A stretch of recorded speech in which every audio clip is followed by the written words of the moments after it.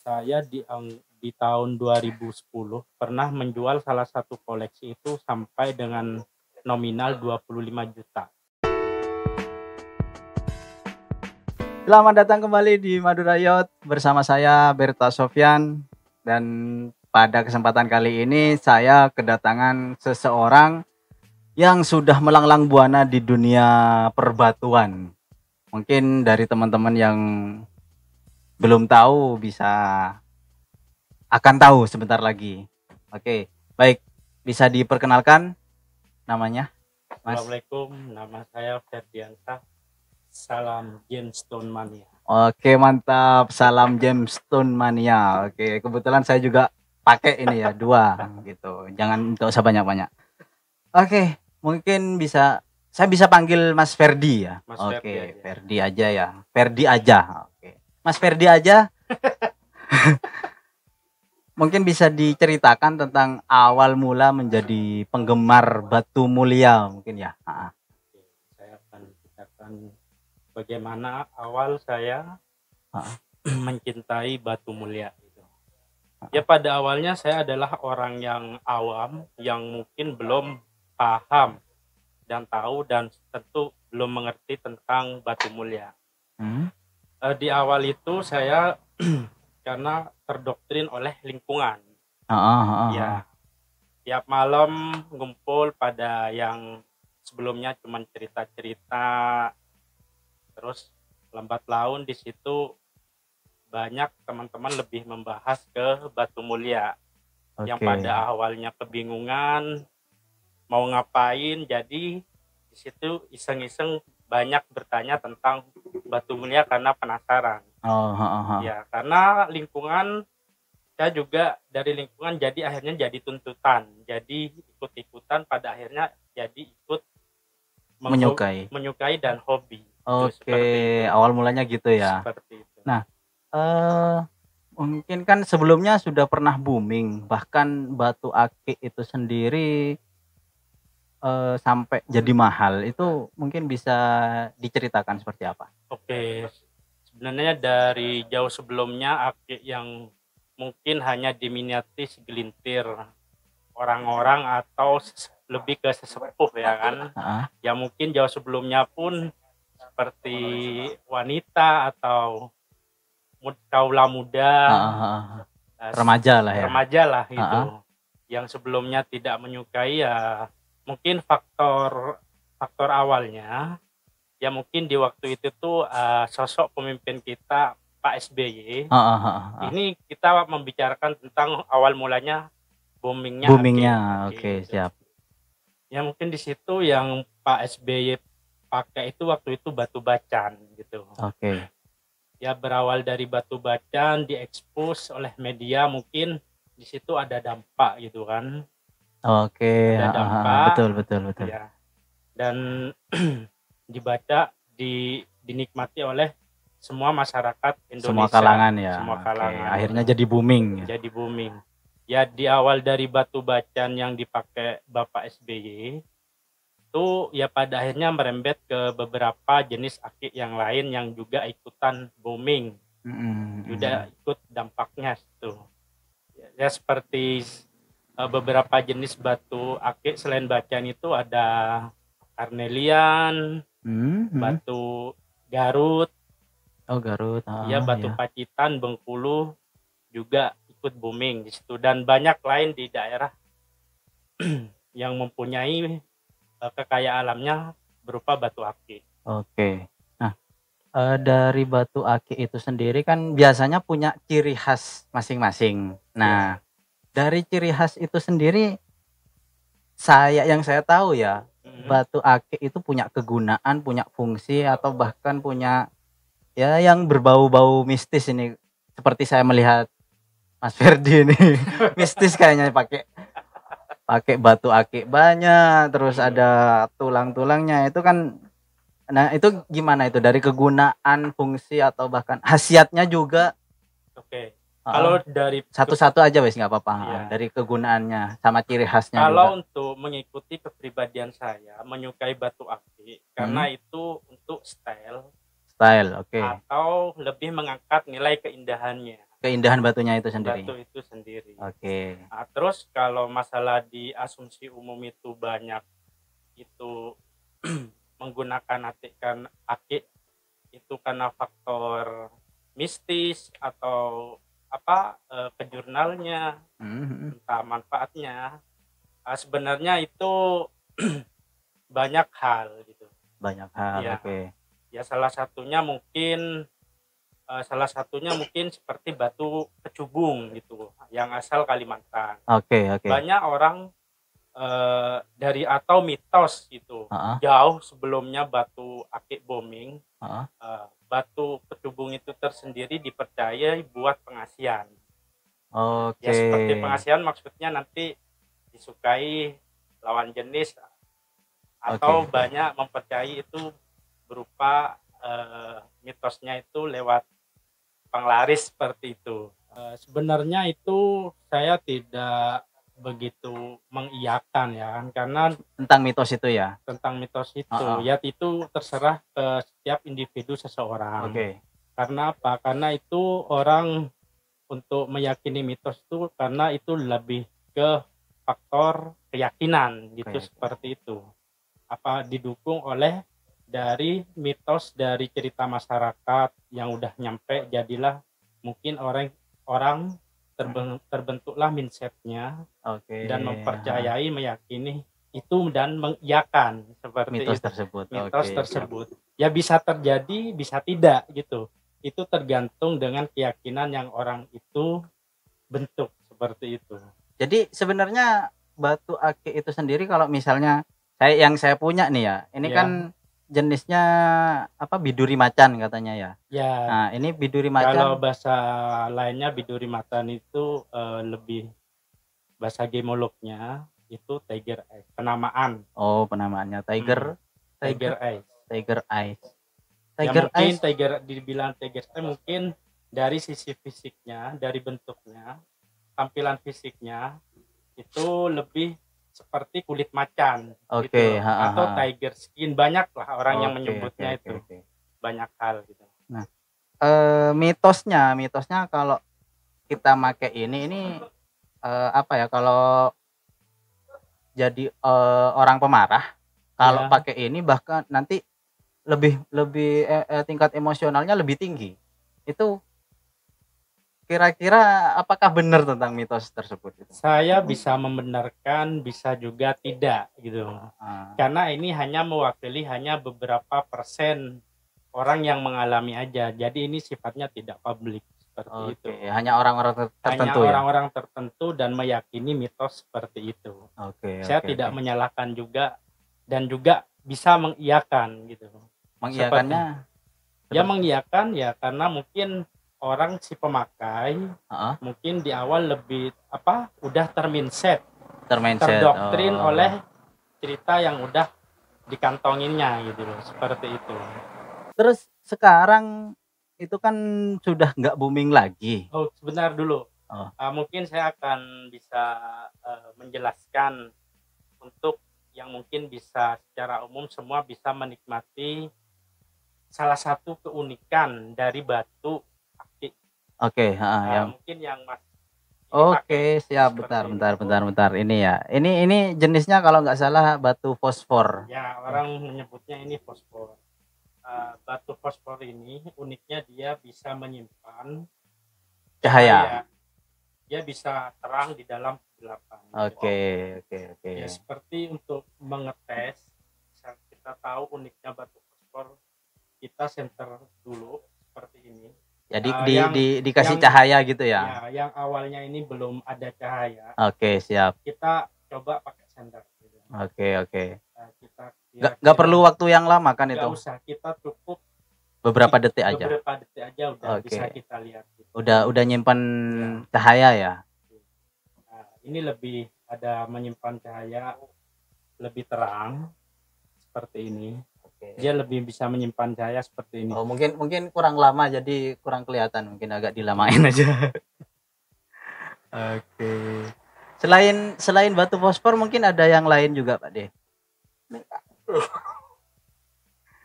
Ah, oke ini Oke, ya ini keun- salah satu keunikannya ya. Jadi Iya. terang di tempat yang gelap. Oke, mantap. Salah satu keunikan batu dari batu Ya, fosfor. seperti- ini mas mungkin lebih asik ini Ah. nah, bisa lihatnya seperti ini Oke, sudah kelihatan? Oke, mantap. Kalau selain selain batu fosfor mungkin ada keunikan yang lain dari batu-batu yang lain. Bagaimana? Mungkin ada ada keunikan yang lain? Eh, seperti maksudnya dari jenis batu yang lain Iya, jadi dari jenis batu yang lain. Selain batu fosfor mungkin ada. Eh, mungkin saya dulu pernah mempunyai salah satu koleksi itu batu bisa di- juga disebut batu rubah Rubah. batu rubah Oke, Eh, dia tampilannya warnanya mungkin sekarang udah laku gitu mas ya ini berdasarkan pengalaman yang saya alami gitu loh Oke. Nah, sebelum batu itu terjual gitu Ah, ah, ah, ah, ah. Nah, keunikan dari batu rubah sebenarnya banyak orang menyeb, eh, banyak ada beberapa versi batu rubah tuh ada dulu yang warnanya merah dia ketika dicelupkan ke air Ah, ah. itu merahnya lebih merah Nah, Hmm. cuman banyak rumor dan banyak eh, berita yang selanjutnya bahwa batu merah, batu rubah yang merah ini ternyata dia banyak mengalami pewarnaan. Hmm. Seperti itu. Banyak kasus yang seperti itu ternyata entah ada ada atau tidak. Cuman yang banyak kasus yang terungkap seperti itu. Oke. Untuk batu yang merah itu. Kalau saya pernah juga melihat batu yang merah itu ketika dicelupkan ke air, Mm-mm. warna airnya itu yang awalnya bening jadi merah juga. Itu batu apa itu? Oh itu bisa yang banyak beredar waktu itu batu kalau nggak salah itu ya kalau nggak salah itu batu sojol Sojol. batu sojol atau batunya dari batu Aceh gitu mas Oke. Ah, itu dia pernah di eh, untuk pengetesannya dulu eh, air bening ditetesin betadin Mhm. ketika air eh batu itu dicelupin bahwa air itu menjadi bening, bening kembali, kembali. Ya. Oke. entah ini sebenarnya lebih ke apa ya? Ya mungkin nggak mistik. Kalau kalau saya katakan bukan mistik atau bukan yang hal-hal yang gimana gitu. Hanya cuman mungkin memang eh, batunya itu kan ada kadar besinya. Oke. seperti itu ya. Mungkin hanya mungkin apa zat itu terserap aja. Bisa bisa menyerap Ah, zatnya, banyak zatnya menyerap. yang ya mungkin banyak orang hanya menambah-nambahi demi marketingnya aja Oke, seperti itu. oke. Nah, eh, sekarang ini kan popularitas Batu Mulia udah udah jauh turun drastis ya. Mm-mm. Ketika booming-boomingnya dulu mungkin ketika booming-boomingnya dulu mungkin eh, Anda sudah pernah menjual sampai berapa duit yang paling-paling mahal? Oke, saya ceritakan ya. Hmm, Oke. Nah, jauh sebelumnya itu pernah apa? Jauh sebelum booming, Oke. eh, booming aki itu di pada tahun 2014. Hmm. Saya di di tahun 2010 pernah menjual salah satu koleksi itu sampai dengan nominal 25 juta. 25 juta. Ya, kebetulan saya itu punya link, Oke. punya relasi kolektor dari Sidoarjo. Memang dia Ah. mencari barang, kebetulan saya mempunyai barang itu, barang tersebut. Kalau Gitu. boleh tahu jenis batunya apa namanya? itu lebih sebenarnya bukan ini lebih ke ini ya, lebih ke apa? Fosil kelor. Fosil kelor. Fosil, oke. cuman kalau kita udah eh, fosil kelor itu atau bahasa Maduranya bisa disebut merongki. gitu. Merauke, iya. ya, iya. cuman ini udah jadi fosil dan membatu. Ah, ah, ah. Ya mungkin bisa disebut batu mulia akhirnya gitu Oke, karena jadi udah membatu dari kayu udah membatu seperti Oke. itu Saya juga pernah ada eh, pernah punya fosil kayu ada ya yang jadi batu.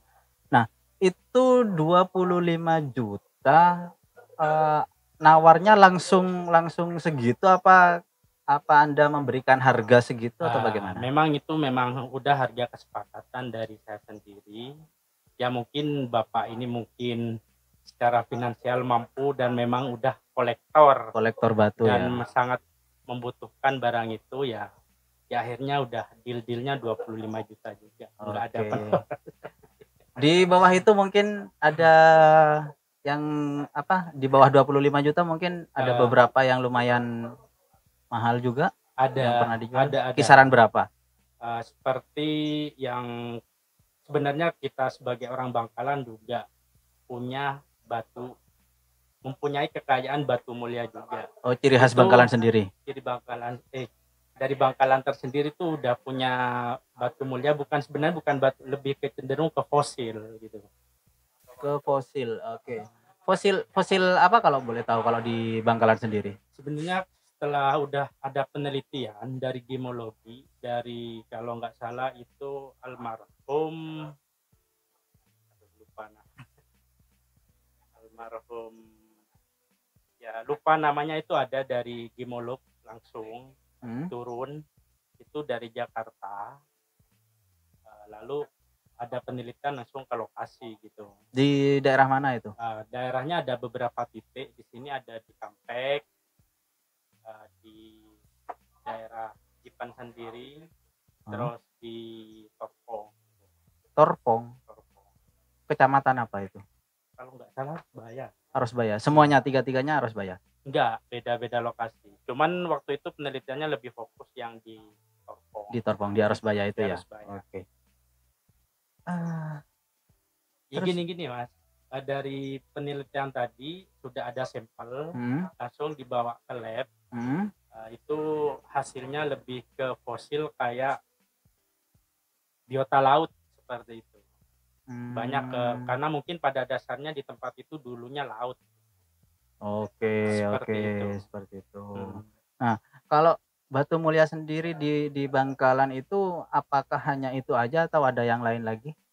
Eh, sebenarnya ada itu ada di Sampang juga punya Oke. namanya itu Diengan Diengan. Diengan Oke. mungkin itu nama lokasi atau entah nama apa apa nggak paham Ah, soalnya nggak pernah nyampe ke lokasi langsung Uh, batu tiangan itu sendiri pernah terjual di harga fantastis Uh, kalau nggak salah waktu itu udah mencapai 1 m berapa gitu Wow. di kolektor 1 M. ya mungkin dari beberapa banyaknya batu mulia itu sendiri mungkin salah satunya ada keunikan gitu. Oke, Jadi- oke. jadi nggak semuanya jadi cuman salah perbandingan 1000 1001 gitu loh seperti itu itu udah berupa maksudnya batunya apa berupa bongkahan yang yang laku MM-an itu berupa bongkahan apa sudah berbentuk Uh, dia Batu. sebenarnya tanggung dia bongkahan semi sudah uh, semi jadi jadi olah kasar gitu loh oke dari bongkahan agak semi jadi seperti itu besarnya seperti apa itu kalau kurang- nggak kurang lebih. salah seperti telur ayam. Oh lumayan besar juga ya Lumayan Bis- itu besar. bisa jadi empat batu mungkin ya empat empat batu. kalau dipecah ya Ah. kita menyesuaikan sesuai kebutuhan iya sih heeh. Ya, kan ada yang besar kalau udah besarnya seperti ini kalau itu barangnya bagus eh, bisa jadi 10 oh Bola sepuluh kalau dipecah dipoles jadi seperti ini oke oke bentuknya oke oval seperti ini oke oke oke mungkin bisa diceritakan dari awal mula booming sampai merosot hingga sekarang. Bagaimana? Ya mungkin eh, kembali ke tadi eh, salah satu faktor ya. boomingnya aksi itu ya mungkin karena dampak dari salah satu pemimpin kita waktu di era Pak SBY memakai salah satu batu yaitu batu batan batu batu selain sebenarnya dari dampak dari Bapak SBY itu dari Bapak SBY itu tersendiri sebenarnya banyak lagi faktor Hmm, seperti salah satunya itu adalah kontes adanya kontes batu Oke.